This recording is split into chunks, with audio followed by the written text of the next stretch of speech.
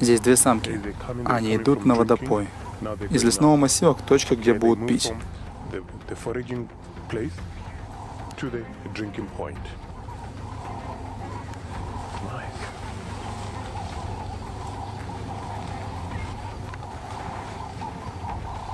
Все это достояние Африки. Когда самки идут, они переживают за малышей. Поверь мне, им требуется защита. Если вы или прочие хищники подойдут близко, они могут убить их. Самки должны быть уверены в этой территории, чтобы защитить малышей. Смотри, они уходят вглубь буша.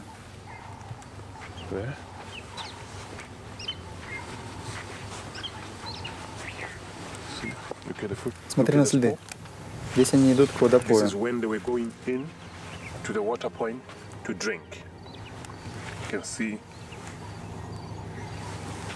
Слоны проходят огромные дистанции, и когда они передвигаются, они уничтожают больше растительности, чем могут съесть.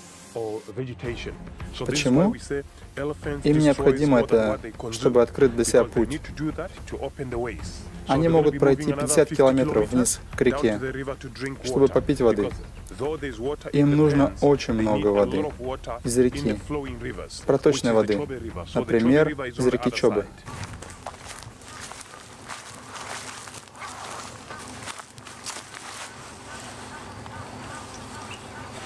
Это слоновьи лепехи.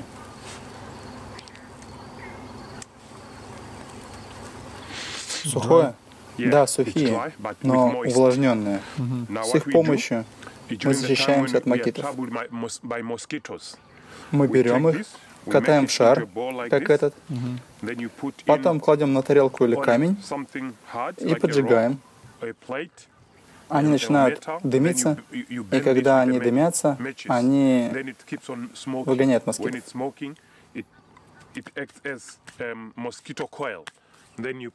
Mosquitoes.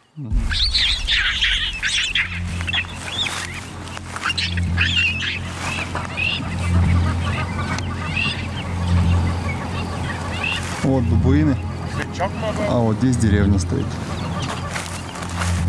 Это часть пищевой пирамиды. Крупнейшие бабуины на этой территории — это бабуины Чакма. Бабуины Чакма достаточно миролюбивы, но также они могут быть очень опасны. Самец имеет такие же клыки, как самка льва. Если ты поймаешь одного, то другие будут защищать его. Лучшая ситуация в данном случае — это просто сохранять дистанцию. Иногда бабуины Чакма доставляют проблемы, так как они ломают вольеры, съемают овощи.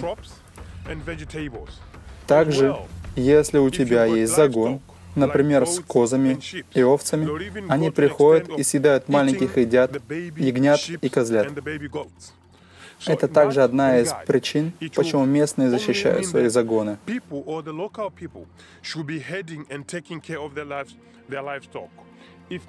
Заводят охранных собак, которые могут отгонять бабуинов. Ты видишь, они убежали. Бабуины очень осторожны. Малыши едут на спине мамы, потому что это удобно, потому что мама ходит и собирает еду в это время. Малыши помогают следить за обстановкой. Если они видят что-то опасное, они издают звук и ныряют под маму. И это знак матери, чтобы она была осторожна. Что-то происходит вокруг. Смотри, это куду. Стоим спокойно.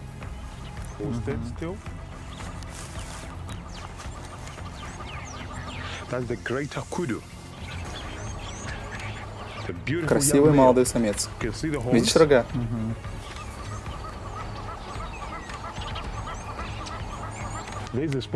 Смотри, а это пятнистая гиена справа.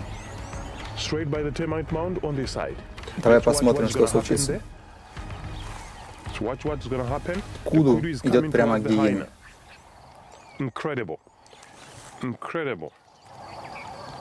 Это Африка для тебя, земля Ботсвана. Правительство Ботсваны тратит много денег для сохранения животных. Это причина, почему ты можешь видеть их всех. Смотри, как бежит.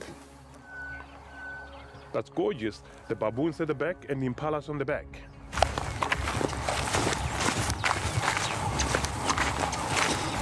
У большинства животных плохое зрение. И ну, потому что высокая трава, они не могут видеть далеко. И к ним можно подкрасться достаточно близко, если позволит шанс. Вот здесь трава низкая.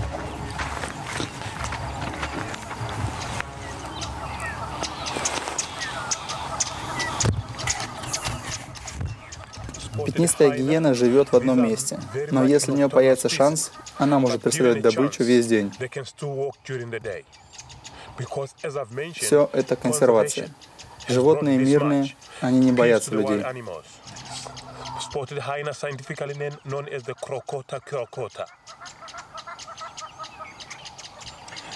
Они доставляют очень много проблем для людей и их скота.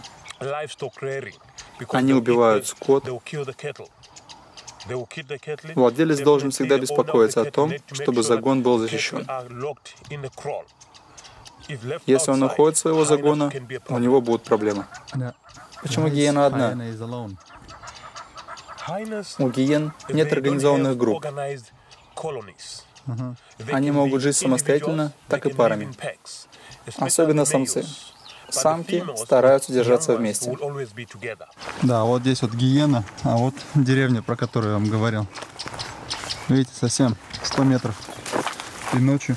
А, Подскажи, могут гиены или дикие собаки или бабуины пройти на эту ферму? Да, здесь живут люди, и бабуины могут пойти внутрь, чтобы съесть что-то, потому что есть еда у людей.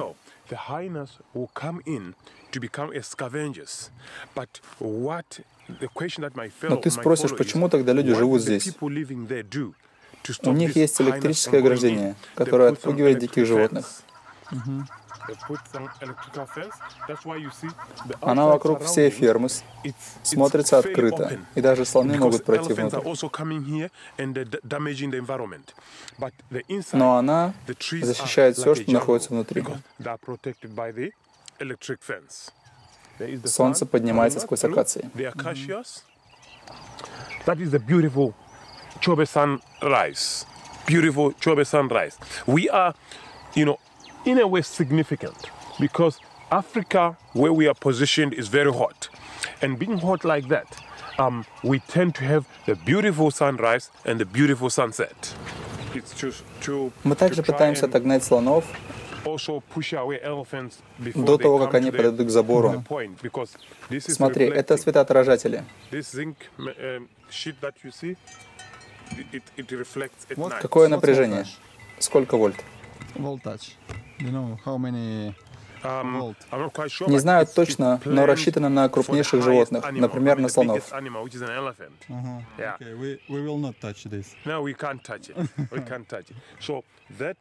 Ночью, когда ветер, они также издают звуки.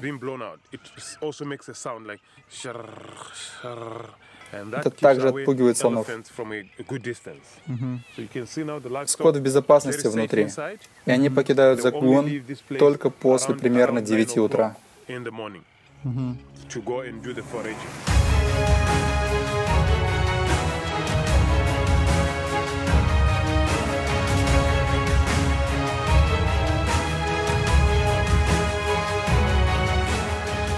Как нападает лев?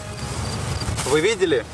Когда мы в Гамбии гуляли со львами, они вот такого размера, это были самки. В холке самец будет гораздо выше.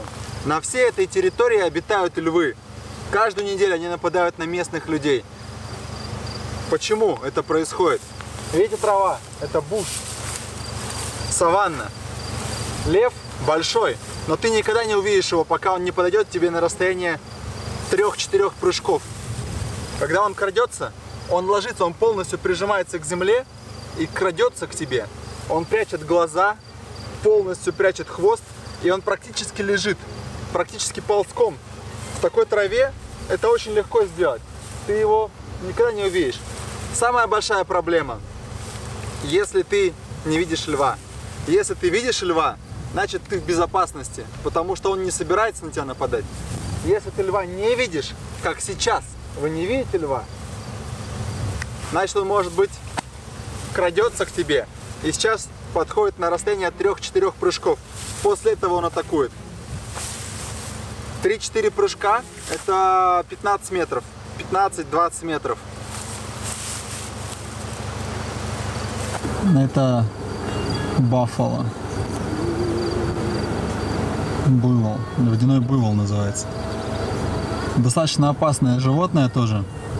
А, очень агрессивное, нападает спонтанно. Очень защищает а, свое стадо и маленьких буйволят, если они есть рядом. Входит в большую пятерку. Охота на него также одна из достаточно опасных охот.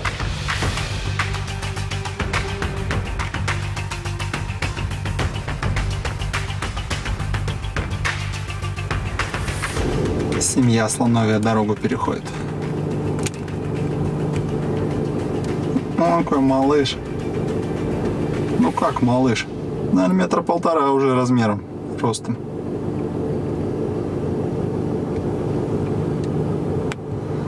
Ну что, батя, всех перевез, перевел через дорогу.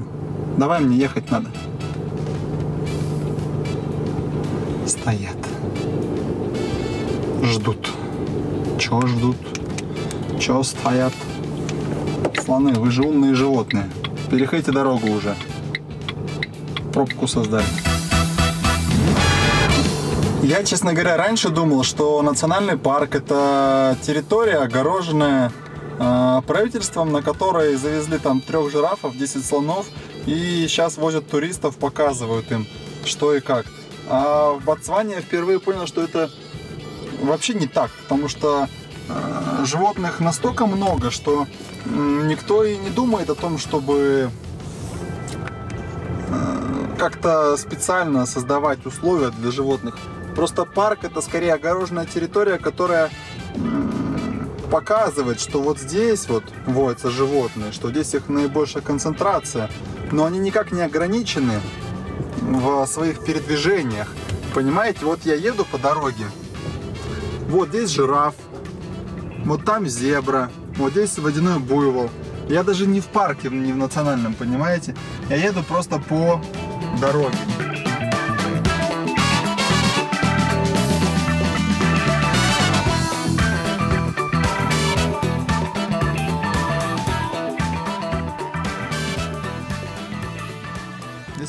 Это ваш загон?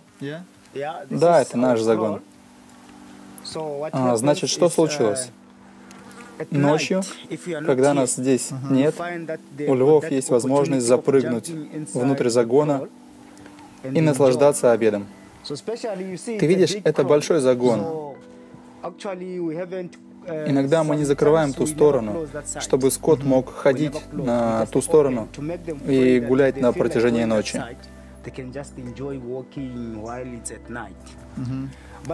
Но иногда нам не везет. Та сторона не слишком хороша.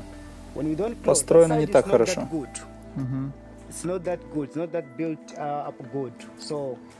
Львы имеют возможность запрыгнуть в загон, и после этого они выбирают, кого будут есть. Затем они наслаждаются. А что слоны делали здесь? Да фиг знает, может быть, в воду приходили пить, я не знаю точно. Видишь, мы иногда оставляем воду здесь для скота. А вы пытались сделать загон выше? Или электрическую изгородь сделать, например? Нет, еще не пробовали, но мы пытались а, разместить огни вокруг загона. By the time we put those lights around, we were given them by the I don't know which group of research was it. Uh-huh. Эти огни, они не то чтобы для нас. А, что происходит, э, когда огни горят? Львы уходят к другому загону и едят там. Они пугаются огней. А, подскажи, это случается каждую неделю? Да, в последнее время чаще. Когда я уезжаю, ребята звонят мне и говорят, что а, львы съели еще кого-то. А проблема в том, что даже если мы найдем их внутри загона, мы не можем стрелять, потому что это запрещено. Все, что мы можем, это только позвонить офицеру по дикой природе, чтобы тот приехал и спас нас. Это большая проблема, если застрелишь? Да, очень большая проблема. Понимаешь, львы здесь в консервации, и их не так много. И тебя вычислят, и это, это, это проблема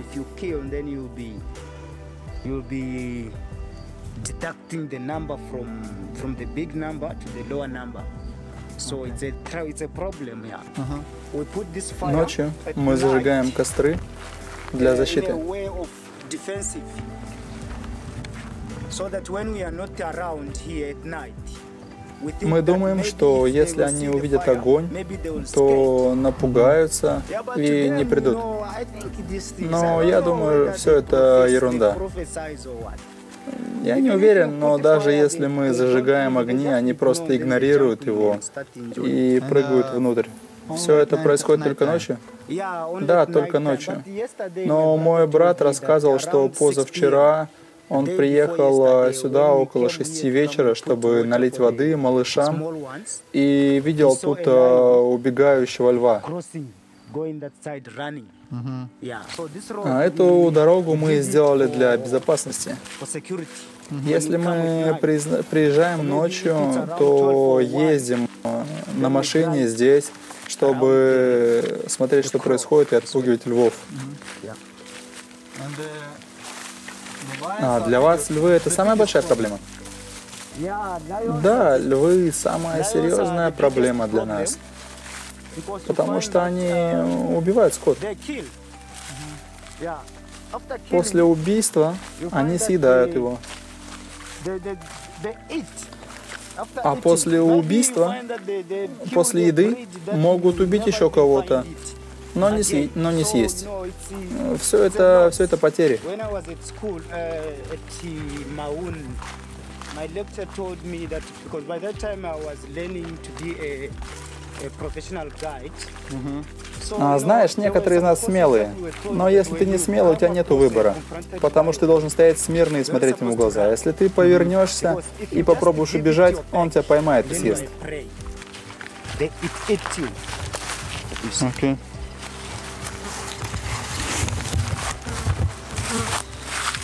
This is the lion's footprint, yeah? Yeah. It is not that visible. Oh, yeah. It's more than my hand, yeah. А, знаешь, я также слышал э, истории, что лев, который однажды убил человека, будет охотиться за ним снова и снова. Это правда или это байка?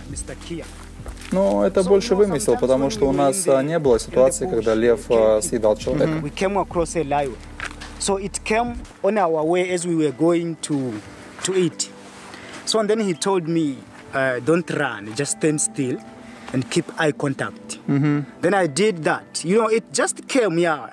It wanted to harass us. Very close. And then it turned back and then it took a wrong direction. And you just need to. Yeah, eye contact see and the see eye. the eyes uh-huh. straight on its eyes. Only. You don't blink. Uh-huh. yeah. Okay. don't blink. Looks. sound, sounds brave. Yeah, some are brave, but if you are not brave, there is no choice. You have to stand still and just look on the eyes. Okay. Because if you don't look on the eyes and turn your back, then you are eaten, you are prey. Сейчас мы пошли в буш, э, смотрим следы львов, как далеко они ушли, потому что на самом деле они живут недалеко от э, этой деревни, потому что ну, им не надо охотиться, понимаете, им не надо бегать за антилопой, им не надо э, пытаться ее поймать. Они просто приходят, перепрыгивают через забор и едят сколько хотят, и потом уходят. Они живут где-то недалеко, чаще всего они боятся людей, но э, далеко не всегда. Особенно если один или два человека идет, а львов целый прайд, то ну, такие случаи бывают. А, вот место, где львы запрыгивают внутрь.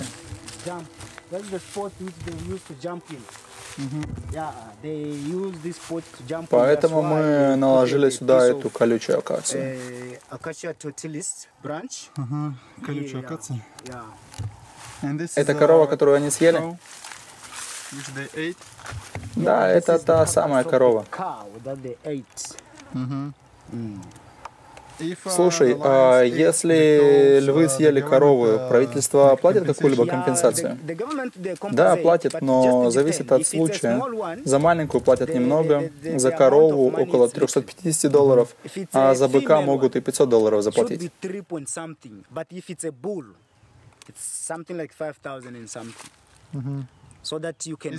Этого достаточно, чтобы, например, купить другого?